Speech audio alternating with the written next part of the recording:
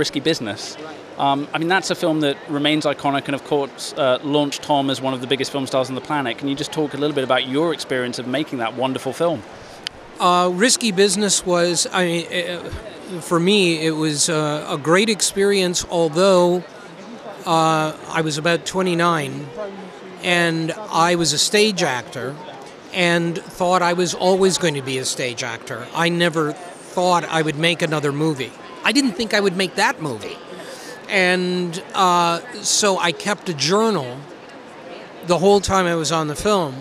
So I, in the future, I could remember what making a movie was like. That's how weird the concept of making movies was for me then. Um, and Tom was 19, something like that, and just starting out, and it definitely made him. What, as a performer, do you think defines him? What makes him one of the biggest film stars on the planet? I'm not sure. I, I mean, I think if you knew, you would, you know, bottle it and make more movie stars. I, I, I don't know.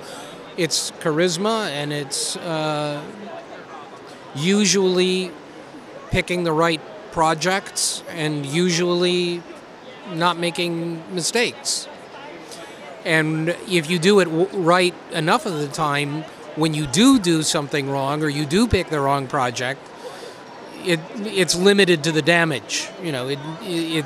I I don't really know. I mean, he was when I worked with him, enormously focused as an actor, and um, he definitely had ambition.